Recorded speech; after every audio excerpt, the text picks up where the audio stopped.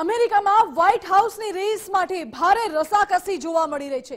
પ્રથમ મહિલા રાષ્ટ્રપતિ કે ફરી એકવાર ટ્રમ્પ સરકાર? એને લઈને સવાલો સતત ઉઠી રહ્યા છે વોશિંગ્ટનના ચોવીસ કલાક પહેલાના તમામ સર્વેમાં રસાકસી જોવા મળી રહી છે.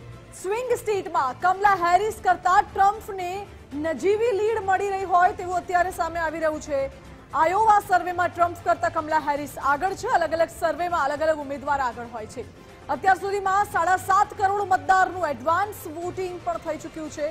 ચૂંટણી પહેલા વોશિંગ્ટન ડીસીમાં સુરક્ષા વ્યવસ્થા સઘન કરવામાં આવી. સટ્ટા બજાર અનુસાર ડોનાલ્ડ ટ્રમ્પની જીતના ચાન્સ વધુ જોવા મળી રહ્યા છે. તમામ સર્વેમાં અલગ અલગ આંકડાથી મુકાબલો રોચક બન્યો છે હાલ તો.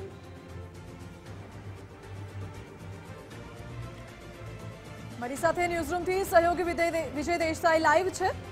વિજય, અમેરિકાની ચૂંટણી રસાકસી ભરી જોવા મળી રહી છે અને અલગ અલગ સર્વેમાં ક્યાંક ડોનાલ્ડ ટ્રમ્પ, ક્યાંક કમલા હેરિસ આગળ છે. સ્વિંગ સ્ટેટની જ્યારે વાત આવે છે, સ્વિંગ સ્ટેટ એ સ્ટેટ છે. જેવી રીતે આપણા ભારતમાં કહેવાય છે કે પ્રધાનમંત્રી એ બને છે જે ઉત્તર પ્રદેશમાં વધુ બેઠકો જીતે છે, એ પક્ષના પ્રધાનમંત્રી બનતા હોય છે. ત્યારે સ્વિંગ સ્ટેટ્સ અમેરિકા માટે એ પ્રકારના સ્ટેટ છે જ્યાંથી વધારે મત જે પક્ષને મળે છે, તે પક્ષની વિજય વિજય થતો હોય છે. બિલકુલ અમેરિકાની ચૂંટણી ઐતિહાસિક છે, કારણ કે વૈશ્વિક ઉથલપાથલ જે પ્રકારે સર્જાયેલી છે, વર્તમાન સ્થિતિ વિશ્વની એ પ્રકારે બનેલી છે.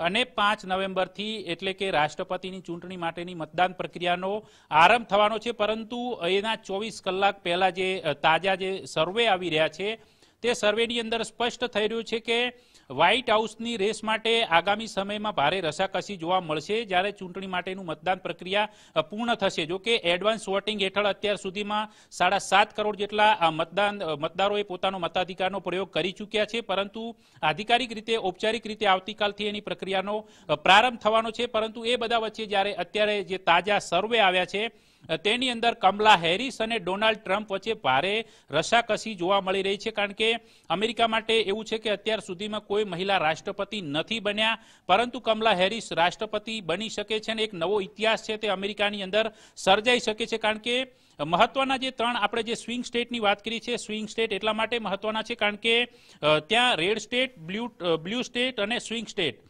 આ ત્રણ પ્રકારની પેટર્ન ઉપરથી ચૂંટણી લગભગ નક્કી થતી હોય છે. તેમાં જે રેડ સ્ટેટ છે, ત્યાં ઓગણીસો ને એસીથી સત્તર રિપબ્લિકન પાર્ટી જીતતી આવે છે, જ્યારે ઓગણીસો ને બાણુંથી ડેમોક્રેટનું વર્ચસ્વ બ્લુ સ્ટેટ્સ પર રહેલું છે. પરંતુ જે અન્ય સ્વિંગ સ્ટેટ છે, તેની અંદર મોટા જે સાત રાજ્યો છે, એનું પલડું કોની તરફી રહે છે, તે કંઈ નક્કી હોતું નથી ને તેના જ કારણે એ સ્વિંગ સ્ટેટ જે છે, સત્તા નક્કી કરતા હોય છે. તેની અંદર મહત્વના જે રાજ્યો છે, તે રાજ્યોની અંદર જોર્જિયા એ સિવાય નેવાડા છે, નેવાડા સિવાય મિશિગન, પેન્સિલ્વેનિયા, એરિઝોના, ઉત્તર કેરોલિના, વિસ્કોન્સિન, આ બધા જે રાજ્યો છે, એ રાજ્યોના પરિણામો છે તે આ પરિણામ પર અસર કરતા હોય છે અને તેના જ આધારે રાષ્ટ્રપતિ અને ઉપરાષ્ટ્રપતિ કોણ બનશે તે સ્પષ્ટ થતું હોય છે. પરંતુ હાલમાં લડાઈ જે આ સાત રાજ્યોની અંદર છે, તેની અંદર ક્યાંક ડોનાલ્ડ ટ્રમ્પ આ સ્વિંગ સ્ટેટની અંદર થોડા ઘણા અંશે નજીવી લીડથી કમલા હેરિસને ટક્કર આપી રહ્યા છે. પરંતુ જોવાનું એ રહેશે કે આખરી મતદાન જે થાય છે એ મતદાનની પ્રક્રિયા પૂર્ણ થયા બાદ જ્યારે મતગણતરી થશે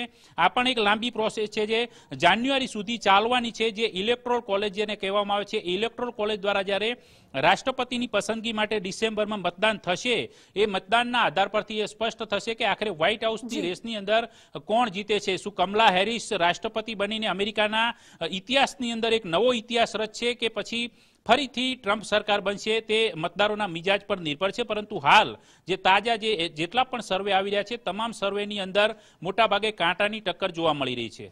જી, બિલકુલ. વિજય, આભાર આપનો. એટલે અમેરિકાની ચૂંટણી પાંચ તબક્કામાં યોજાય છે, જે પાંચ તબક્કા વિશે આપણે વાત કરી. અને હાલ તો તમામ સર્વેમાં અલગ અલગ આંકડાઓ જોવા મળી રહ્યા છે.